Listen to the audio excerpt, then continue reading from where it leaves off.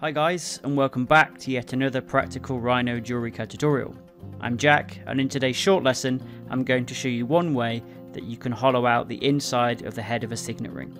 As well as the how, I'll also be explaining the why, breaking down my decision making process along the way. With the introduction out of the way, let's get stuck in. So let's begin by first opening our existing model. So we'll go to File and Open and we'll find our pre-made signet ring file. I'll put a download link in the description of this video so you can download this and work along with me. And with that selected, we click open.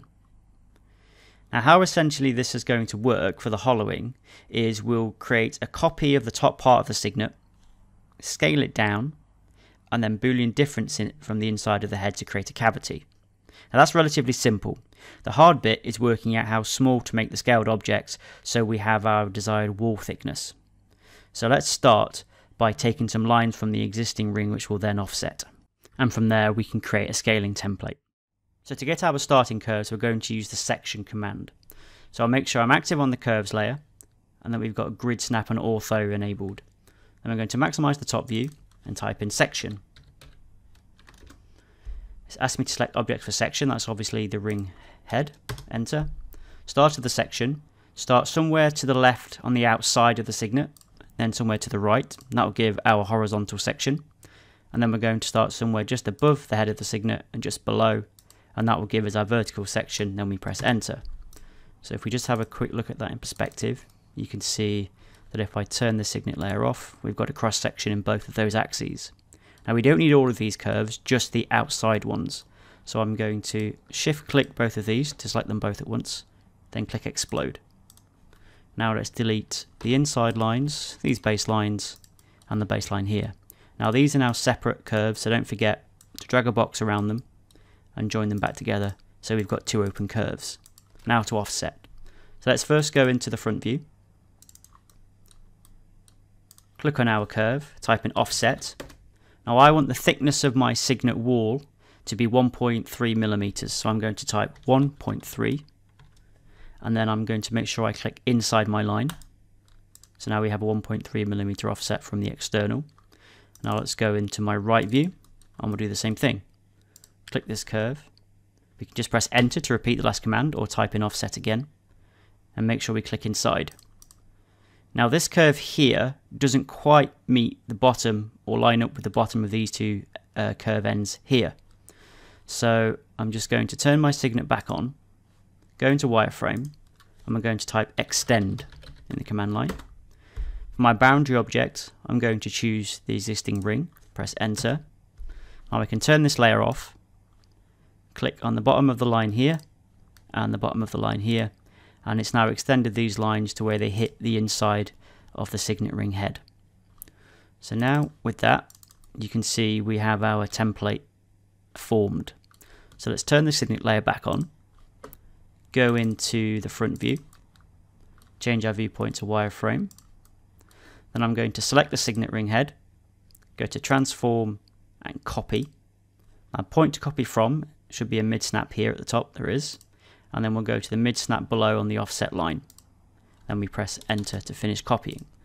Now this copy I'd like it to be on a different layer, so I've made that for you. So if we go to the cutter layer on the right here, while that new object is selected, right click cutter, and then we're going to choose change object layer. And that's now put it onto the orange layer.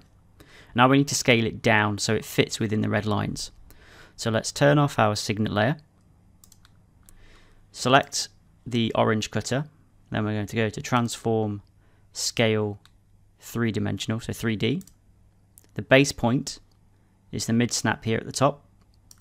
Now make sure you've got orthographic on. I'm just going to bring my mouse somewhere to the left. Actually, we need to turn grid snap off too, so let's turn that off as well.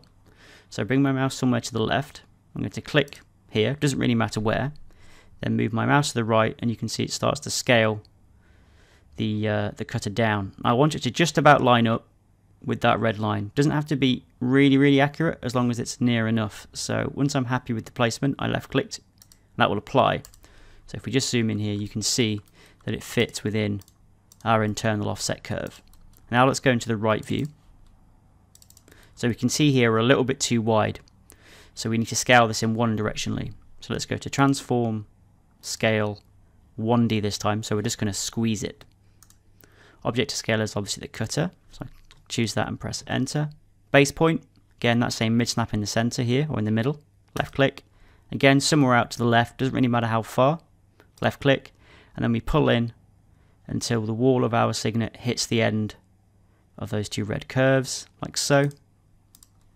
And now it's scaled. So let's go into perspective, turn on our signet layer again, and let's spin it upside down, look inside. So we can see it's going to cut fairly nicely here, but leave a bit of a messy boolean on the shoulders here. So I'll just do a quick boolean just to show you that which will undo. So I'll type in boolean difference, choose my signet, enter, choose my cutter, enter. So you can see it leaves a bit of an ugly finish here on the inside. So let's just undo that with Control Z and go back into the front view.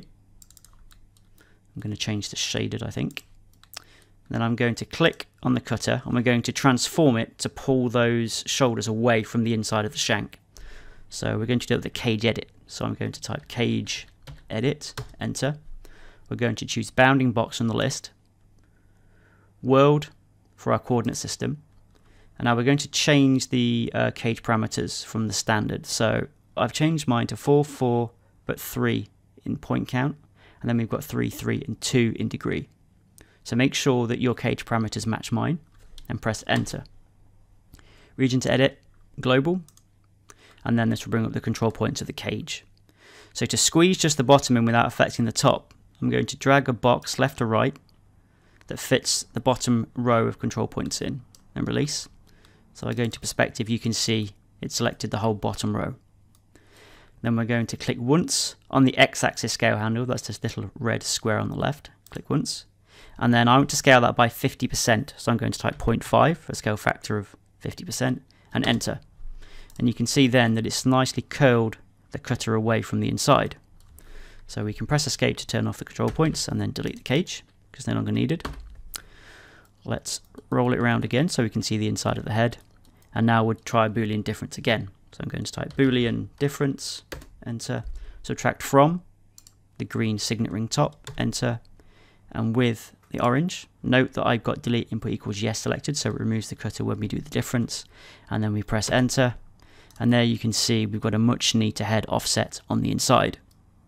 One last little thing that I'd like to do is to try and remove this sharp edge on the inside so it's smoother on the inside of the head so it's easy to polish and also hopefully minimize any um, bubbles forming in the casting.